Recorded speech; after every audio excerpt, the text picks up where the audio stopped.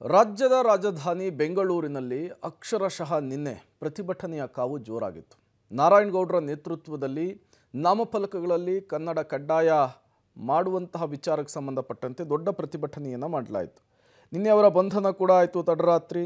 ಇದೇ ವಿಚಾರಕ್ಕೆ ಸಂಬಂಧಪಟ್ಟಂತೆ ಸಿ ಎಂ ಸಿದ್ದರಾಮಯ್ಯ ಹಾಗೂ ಪೊಲೀಸರ ದೌರ್ಜನ್ಯದ ವಿರುದ್ಧ ನಾರಾಯಣಗೌಡರು ಕಿಡಿಕಾರಿದರು. ಮೊಬೈಲನ್ನು ಕಿತ್ತುಕೊಂಡಿದ್ದು ಅಲ್ಲದೆ ಊಟವನ್ನು ಕೊಟ್ಟಿಲ್ಲ. ಸಿ ಎಂ ಸಾಹೇಬ್ರೆ, ನಿಮಗೆ ನಾವು ಉತ್ತರವನ್ನು ಕೊಡ್ತೇವೆ. ನಿನ್ನೆ ಬೆಳಗ್ಗೆ ಹೋರಾಟಕ್ಕೆ ಬಂದವರು, ನಾವ್ಯಾರೂ ಊಟ ಮಾಡಿಲ್ಲ. ನನಗೆ ಆರೋಗ್ಯ ಸರಿ ಇಲ್ಲ ಮೆಡಿಸಿನನ್ನು ತೆಗೆದುಕೊಳ್ಬೇಕು. ಇವತ್ತು ಗುಂಡಿಟ್ಕೊಂಡ್ರೂ ಕೂಡ ಹೋರಾಟವನ್ನು ಮಾಡಿಯೇ ಮಾಡ್ತೇವೆ ಅಂಥೇಳಿ ಸರ್ಕಾರದ ವಿರುದ್ಧ ನಾರಾಯಣಗೌಡರು ಆಕ್ರೋಶವನ್ನು ವ್ಯಕ್ತಪಡಿಸಿದ್ದಾರೆ. ಪೊಲೀಸ್ನವರು ಭಾರಿ ದೌರ್ಜನ್ಯ ಮಾಡ್ತಾ ಇದ್ದಾರೆ. ಭಾರಿ ದೌರ್ಜನ್ಯ ಮಾಡ್ತಾ ಇದ್ದಾರೆ. ನಾವು ಇನ್ನೂ ಹೋರಾಟಕ್ಕೆ ಇಳ್ದಿರ್ಲಿಲ್ಲ.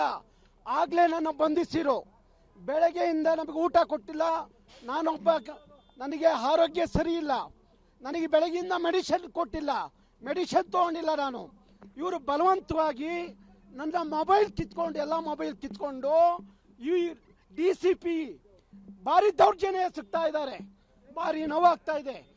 ನಾವು ಮೂವತ್ತೈದು ವರ್ಷದ ಹೋರಾಟದ ಹಾದಿಯಲ್ಲಿ ಯಾವುದೇ ಅಧಿಕಾರಿಗಳು ಹೀಗೆ ನಡ್ಕೊಂಡಿರಲಿಲ್ಲ ನನ್ನ ಹತ್ರ. ಹೇಗೆ ನಡ್ಕೊಂಡು, ಹೀಗೆ ನಡ್ಕೊಂಡಿರ್ಲಿಲ್ಲ? ಭಾರಿ ದೌರ್ಜನ್ಯ ಮಾಡಿ, ದಬ್ಬಳಿಕೆ ಮಾಡಿ ಇಡೀ ನಮ್ಮ ಕಾರ್ಯಕರ್ತರನ್ನ ಇವತ್ತು ಭಾರಿ ಹಿಂಸೆಯನ್ನ ಕೊಡ್ತಾ ಇದ್ದಾರೆ.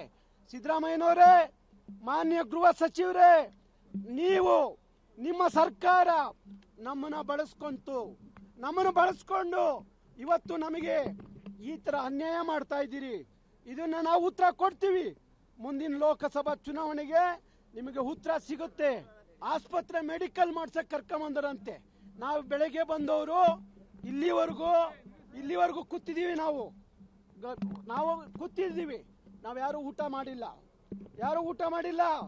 ಒಬ್ಬ ರಾಜಕೀಯ ಕೈದಿಗಳನ್ನ ಯಾಕೆ ನಡೆಸ್ಕೋಬೇಕು ಅಂತೇಳಿ ಇವರಿಗೆ ಗೊತ್ತಿಲ್ಲ.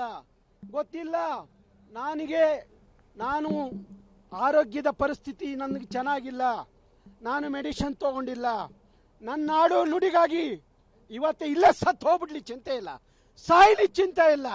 ಕನ್ನಡಿಗರು ನಾಳೆ ಬೀದಿ ಬೀದಿಯಲ್ಲಿ ನಿಮ್ಮ ಚಳುವಳಿ ಪ್ರಾರಂಭ ಆಗಬೇಕು.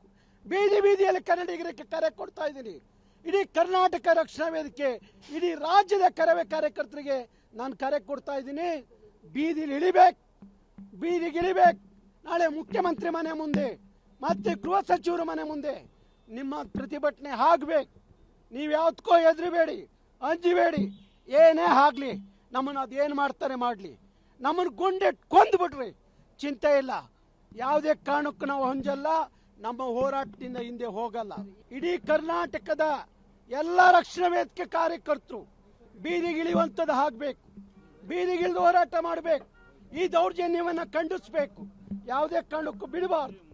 ಹೌದು, ಹಂಗೆ ಆಗಿದೆ. ಸಿದ್ದರಾಮಯ್ಯನವರು ಭಾರಿ ಕನ್ನಡದ ಅಭಿಮಾನ, ಕಳಕಳಿ ಮಾತಾಡ್ತಿದ್ರು. ಸಿದ್ದರಾಮಯ್ಯನವರೇ, ಇದ ನಿಮ್ಮ ಕಳಕಳಿ, ಇದ ನಿಮ್ಮ ಅಭಿಮಾನ, ಇದ ಕನ್ನಡದ ಹೋರಾಟಗಾರನ ಹತ್ತಿಕ್ಕುವಂತದ್ದ ನಿಮ್ಮ ಪೊಲೀಸ್ ವ್ಯವಸ್ಥೆಯನ್ನ ಬಿಟ್ಟು ದಬ್ಬಾಳಿಕೆ ದೌರ್ಜನ್ಯ ಮಾಡಿಸದ. ಯಾಕೆ ಸಿದ್ದರಾಮಯ್ಯನವರೇ, ಎಲ್ಲೋಯ್ತು ನಿಮ್ಮ ಕನ್ನಡದ ಕಳಕಳಿ.